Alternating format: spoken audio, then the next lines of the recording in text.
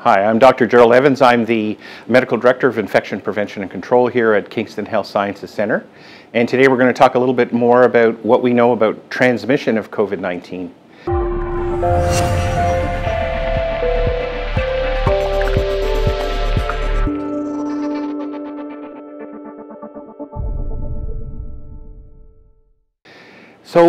As things have gone along with the pandemic, we're learning more and more all the time about transmission. And what we know is that although this virus can be transmitted person to person, uh, by and large, uh, that appears to be mostly driven by large droplet spread. And we are beginning to recognize that although uh, fomite spread by touching a contaminated surface, for instance, and then touching your face uh, may facilitate transmission, it's uh, uh, becoming less and less uh, recognized as an efficient way to actually transmit the infection. So somewhere around maybe 10% or so of infections, whereas about 90% is from large droplet spread. So that's really important as we begin to understand what sort of circumstances transmission is likely to occur in. And what we really know now is that household type contacts tend to be the ones that are most associated with ease of transmission.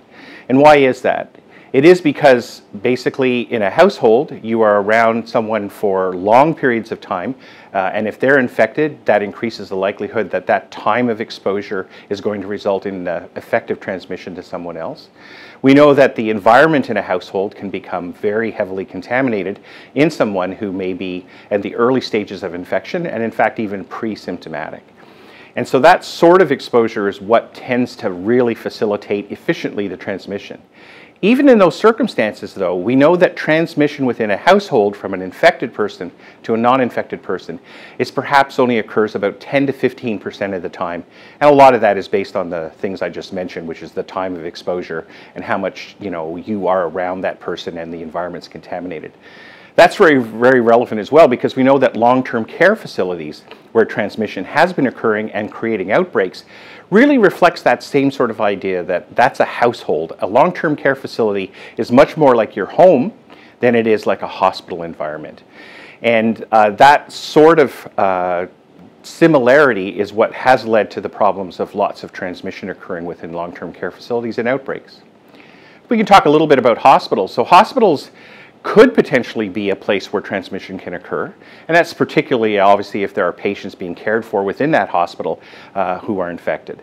However, in some circumstances where the prevalence of infection is low in the community and the, you know, the number of patients with COVID-19 is very, very low in your hospital, we're able to maintain an environment which is not conducive to transmission.